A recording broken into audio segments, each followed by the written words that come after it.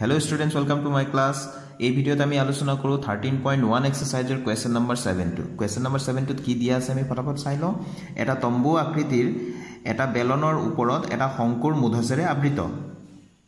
যদি বেলন অংশৰ উচ্চতা আৰু ব্যাস ক্ৰমে টু পইণ্ট ওৱান মিটাৰ আৰু ফ'ৰ মিটাৰ আৰু ওপৰ অংশৰ হেলনীয়া উচ্চতা টু পইণ্ট এইট মিটাৰ তেন্তে তম্বুটো সজাওঁতে ব্যৱহাৰ হোৱা ডাঠ কাপোৰৰ কালি উলিওৱা। প্ৰতি বৰ্গমিটাৰ ডাঠ কাপোৰৰ মূল্য ফাইভ হাণ্ড্ৰেড টকা হ'লে তম্বুটোৰ কাপোৰৰ খৰচ নিৰ্ণয় কৰা। মন কৰিবা যে তম্বুৰ ভূমি ডাঠ কাপোৰেৰে আবৃত নহয়। তো এই প্ৰশ্নটো আমি ছবিৰ সৈতে আমি বুজিবলৈ চেষ্টা কৰোঁ প্ৰথমতে। প্ৰশ্নত দিয়া তম্বুটো মই ইয়াতে আঁকিবলৈ চেষ্টা কৰিছোঁ। ঠিক আছে? তো ইয়াত দিয়া আছে এটা চুঙা অৰ্থাৎ বেলন আৰু তাৰ ওপৰত এটা শংকু আকৃতি আছে বুলি কৈছে। তো এতিয়া এই ব্যাসটো দিয়া আছিলে ফ'ৰ মিটাৰ তো এইফালে যদি ফ'ৰ মিটাৰ হয় ইয়াতো ফ'ৰ মিটাৰেই হ'ব ব্যাস সমানে ইফালে যিমান ডাঙৰ বৃত্ত হ'ব তলফালেও সেই একে সমান বৃত্ত হ'ব লাগিব। এইটো যিহেতু লম্ব বৃত্তাকাৰ চুঙা নহয় জানো? আৰু ইফালে এইটো আছিলে শংকু। তো শংকুৰো ব্যাস একে সমানে হ'ব।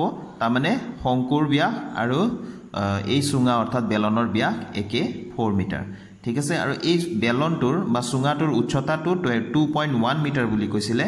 আৰু ইফালে এই শংকুটোৰ হেলনীয়া উচ্চতা টু পইণ্ট এইট মিটাৰ বুলি কৈছিলে ঠিক আছে? তো আমাকতো ব্যাস নালাগে আমাক ব্যাসাৰ্ধ লাগিব যিটো হ'ব ফ'ৰৰ আধা ফ'ৰৰ আধা কি হ'ব? টু হ'ব। তো চিত্ৰটো এনেকুৱা ধৰণে আমি কল্পনা কৰিব লাগিব ঠিক আছে? তো আমি ইয়াতে কৈছে যে আকৌ একেবাৰে তলত তম্বুৰ ভূমি ডাঠ কাপোৰেৰে আবৃত নহয়। তাৰমানে কাপোৰ এইখিনিতহে লগাম আমি এই শংকুটোত কাপোৰ লগাম। এই বেলনটোত কাপোৰ দিম কিন্তু এই ভূমি তলত মাটিৰ ফালে কিন্তু এইটো কাপ কাপোৰেৰে আবৃত নহয়। কাপোৰ তো প্ৰথমতে আমি কি উলিয়াব লাগিব?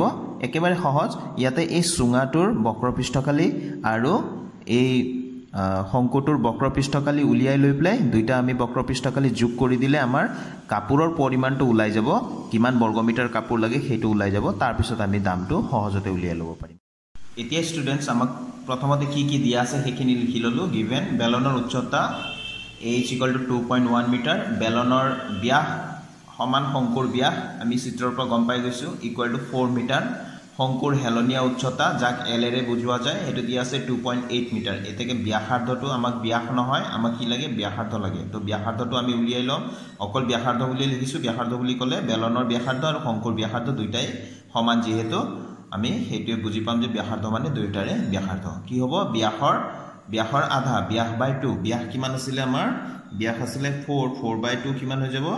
আমাৰ টু হ'ব। এইটো মিটাৰত আছিলে তো মিটাৰ। ঠিক আছে?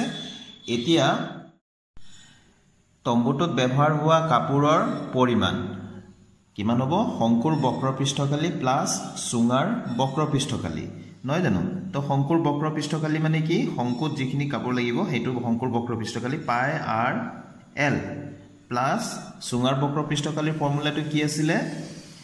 টু পাই আৰ এইচ।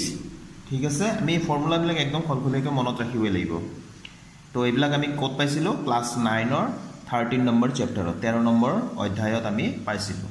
তো সেইখিনি যদি মনত নাই এই ফৰ্মুলাবিলাক যদি মনত নাই তোমালোকে ক্লাছ নাইনৰ থাৰ্টিন নম্বৰ চেপ্টাৰৰ গৈ পেলাই তোমালোকে ফৰ্মুলাবিলাক মুখস্থ কৰি ল'বা ঠিক আছে?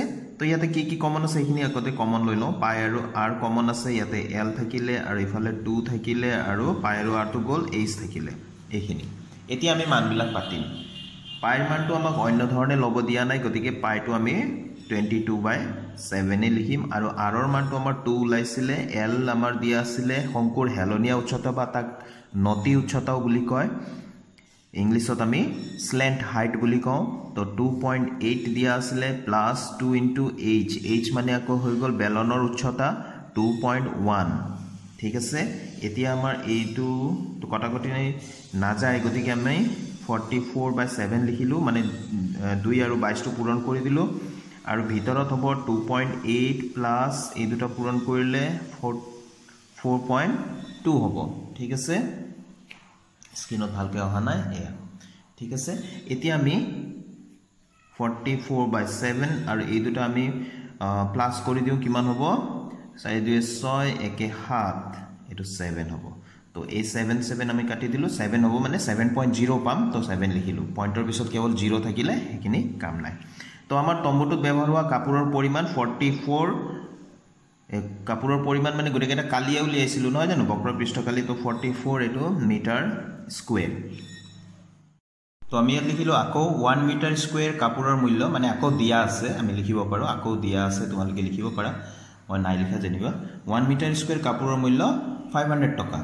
তো এতিয়া আমি কিমানৰ উলিয়াব লাগে? এই ফৰ্টি ফ'ৰ মিটাৰ স্কুৱেৰ যিটো আমাৰ কাপোৰ ওলাইছিলে এইটো তম্বুটোত ব্যৱহাৰ হোৱা কাপোৰৰ পৰিমাণ ইমান আছিলে। এইটো এটা কুৱেশ্যন আছিল নহয় জানো? তো এইটো এটা আনচাৰ আন এটা আন এটা কুৱেশ্যন কি আছিলে যে ইমানখিনি কাপোৰৰ কাৰণে তম্বুটোত ব্যৱহাৰ হোৱা কাপোৰৰ পৰিমাণৰ মূল্যটো কিমান সেইটো আমি উলিয়াব লাগে। তো আমি ওৱান মিটাৰ স্কুৱেৰ কাপোৰৰ মূল্য ফাইভ হাণ্ড্ৰেড টকা। তো এতেকে ফৰ্টি ফ'ৰ মিটাৰ স্কুৱেৰ কাপোৰৰ মূল্য হ'ব five hundred into forty four হয়নে? তো এইখিনি মূল্য যিহেতু এইটো টকা বুলিয়ে লিখিম তো কিমান হ'ব? দুটা জিৰ'টো আছে আগতে লিখি ল'লোঁ আৰু পাছেদি ফৰ্টি ফ'ৰক আমি পূৰণ কৰিম। Five fours are twenty carry two five fours are twenty and two twenty two তো বাইছ হাজাৰ টকা। ঠিক আছে? এইটো হৈ গ'ল এটা আন এটা আনচাৰ তো দুটা কুৱেশ্যন সুধিছিলে কিমান কাপোৰ লাগে ফৰ্টি ফ'ৰ মিটাৰ স্কুৱেৰ কাপোৰ লাগে আৰু যিমান কাপোৰ লাগে তাৰ মূল্য কিমান? তো ফৰ্টি ফ'ৰ মিটাৰ স্কুৱেৰ কাপোৰৰ মূল্য হৈ গ'ল বাইছ হাজাৰ টকা তো আশা কৰোঁ অংকটো তোমালোকে নিশ্চয় বুজি পাইছা। তো আজিৰ ভিডিঅ'টো ইয়াতে সামৰিছোঁ ষ্টুডেণ্টছ নেক্সট ভিডিঅ'ত নতুন কুৱেশ্যনৰ চলিউশ্যনৰ সৈতে আকৌ লগ পাম। থেংক ইউ কিপ ৱাচিং মাই চেনেল